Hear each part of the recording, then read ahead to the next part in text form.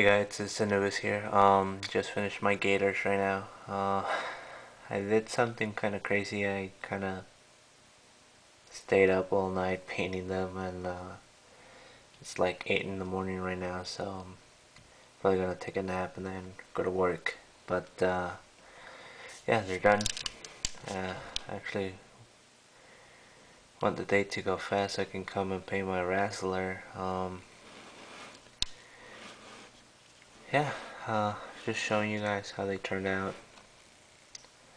Um, I'll take some still pics on it on uh, after this and I'll post it up. So yeah, that's that. Uh, the wrestler um,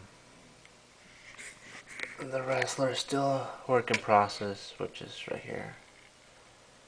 The luchador mask did the basic color on it. And then with the spitter I did the shell just brown with the wash you know.